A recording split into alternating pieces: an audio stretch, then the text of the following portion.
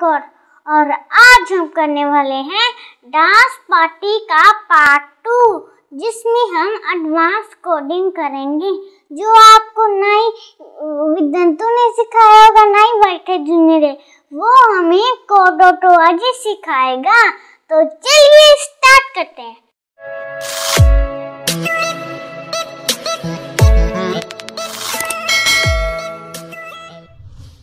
सबसे पहले ये मैंने अपना गूगल क्रोम ओपन किया, यहाँ पर मैं लिखूँगी code dot O R G फिर एंटर अब ये ओपन हो गया, अब मैं नीचे से स्क्रॉल करूँगी और फाइंड ए कोर्स के ऊपर क्लिक करूँगी फाइंड ए और हमने सीखने है डांस पार्टी के बारे में तो हम मैं इसके ऊपर क्लिक करूँगी. तो पहले हमने स्टार्ट यहाँ पर सीखा था स्टार्ट में और अब हम करने वाले keep on dancing start part two तो मैं इसके ऊपर क्लिक करूँगी। और ये हो गया ओपन अब यहाँ पर कीप ऑन डांसिंग इसके नीचे क्या बोला? For part two you are going to create your own project कि अब हम इस पार्ट टू में हम अपनी मर्ज़ी से एक प्रोजेक्ट बनाएँगे। There are no puzzle here कि यहाँ पर हम कोई पजल नहीं करने वाले हैं। और ये कुछ बता रहे हैं आइडियाज़ कि आप इतने सारे अच्छे भी बना सकते हैं और मैं भी ऐसे कुछ अच्छे अच्छे बनाऊँगी। अब मैं क्लिक करूँगी कंटिन्यू के ऊपर। तो ये हो गया अभी हमारा ओपन ये बैक एंड फोर्थ का मतलब है कि ये उन्होंने अपने डांस पार्टी का एक नेम दिया उसका। तो इन्होंने यहाँ पर इंस्ट्रक्शन बुक में क्या बताया गया अभी? Back and forth. Sometimes you might want to create a pattern of dance moves you choose. This new block lets you do just that. The moves you choose above will repeat in sequence forever. Create an alternating routine for the lead dancer at the front. Use different numbers to change the rate at which the moves alternate. Try 1 or 0.5 to alternate more quickly. यहाँ पर अभी यहाँ पर बताया गया कि ये हमें उन्होंने एक न्यू ब्लॉक दिया जो ये पर्पल कलर का है ये एक उन्होंने न्यू ब्लॉक दिया है और इससे वो बता रही है कि क्या होता है, इसके बारे में मुझे किसने नहीं सिखाया था। अब मैं ये आपको खुद बताऊँगी कि इससे ये होता है कि पहले अपने, हमने यहाँ पर अपना डांसर चूज़ करना है और यहाँ पर हम अपना, उनका स्टेप चूज़ करेंगे एक डांस का कि जो यूनिक होना है वो स्टार और ड्रॉप करना चाहिए बिटवीन कि वो टू मिनट तक पहले स्टार डांस का स्टेप करना चाहिए और उसके बाद जब टू उसके मिजर खत्म हो जाते हैं, फिर वो ड्रॉप का स्टेप करना चाहिए और उसे भी उसने टू मिजर तक करते रहना है। ऐसे वो उसे हर एक एवरी टू मिजर की ऐसे वो हर एक बार उसे करता रहेगा करता रहेगा। और इसका मतलब होता है ये। तो जो इन्होंने कोडिंग किया, पहले अपन रन करके चेक करते हैं। I can't write Yeah, one song that's not about you. Can't drink without thinking about you. हाँ अभी वो हमेशा टू मीजर के बाद वैसा ही करता है। अब हम इन्होंने बोला कि अब हम इसमें एडवांस कोडिंग करनी है। कि अब हम इसके और भी कुछ ऐड करना है और भी अच्छा लगे। तो मैं जाती हूँ पहले इवेंट्स में और लूँगी ये वाला ब्लॉक तो मैं अभी चाहती हूँ कि जब टू होते हैं तो जो यूनिक होना वो स्टार और ड्रॉप का स्टेप करना चाहिए। लेकिन ये उन्होंने दोनों से कराए डक्स और यूनिकॉर्न से। तो मैं इसे लगा दूँगी इसके नीचे कि जब फोर मीजर होते हैं तो डक्स भी टू अब वो जो डक्स है, वो भी फोर मीजर तक क्लैप और डैप की जगह हम कुछ और देते स्टेप कि वो फिर गैंगम का करना चाहिए स्टेप और एक डैप का। कि पहले हमने टू मीजर के बाद वो यूनिकॉर्न करते थे। टू मीजर तक ये काम के स्टार्ट के बाद टू मीजर तक जब हो जाता था, फिर वो ड्रॉप का डांस का स्टेप करते थे।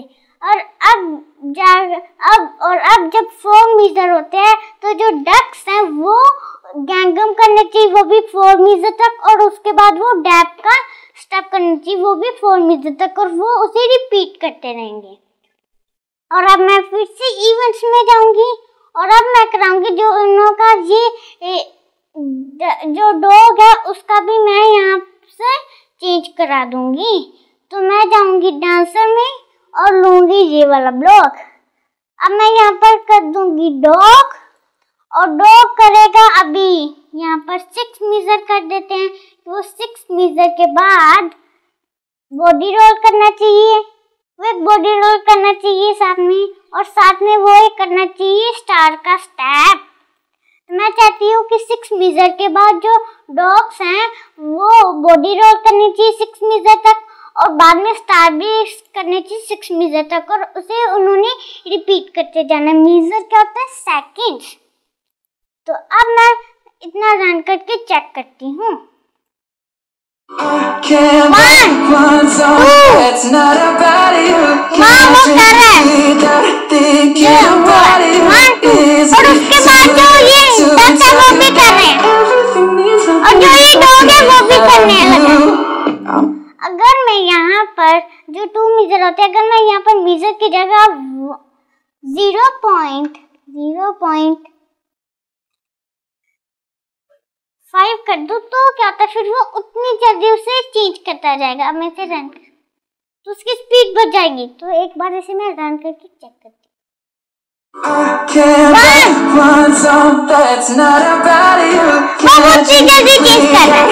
कर अगर मैं अब यहाँ पर ज़ीरो पॉइंट वन कर दूँ तो क्या होता है? चलो। तो वो तो बहुत फास्ट चेंज करेगा। चलो इतना हम रन करके चेक करते हैं। I can't One, two. that's not about you. Can't वाह, ऐसा लग रहा है कि वो करेगा thinking about you. Is it too late? वाह ऐसे कितना अच्छा कर रहा है अब मैं चाहती हूँ कि जब टेन मीजर होते हैं तो जो ये डॉग जो बड़ा सा डांस था सेंटर में डॉग तो वो मैं चाहती हूँ कि अभी वहाँ पर जगह कोई और डांसा आना चाहिए तो इसके लिए मैं पहले इसे इनविजिबल करूँगी, नहीं।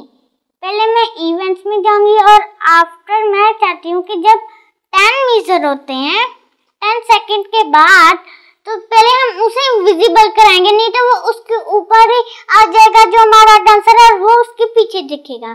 तो इसके लिए मैं जाऊँगी प्रॉपर्टीज़ में और लूँगी set all visible size visible और यहाँ पर मैं ऑल की जगह डॉग को visible कराऊँगी।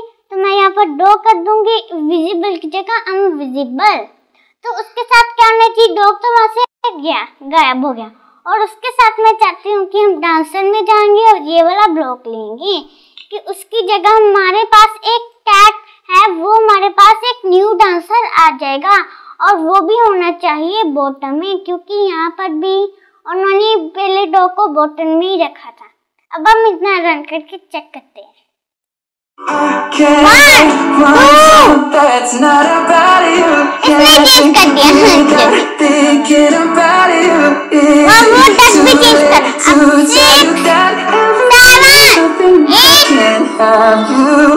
I'm a journal and I got this you, but I might ask. Wow, Mama!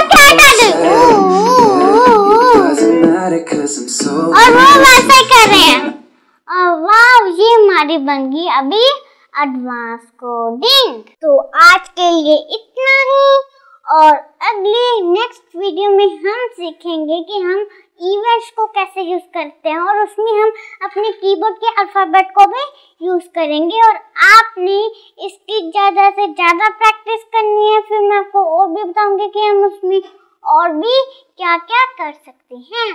तो बाय मिलेंगे हमारे नेक्स्ट वीडियो में। और मेरे वीडियो को लाइक, शेयर करना और मेरे चैनल को सब्सक्राइब करना। बाय, मिलेंगे नेक्स्ट वीडियो में।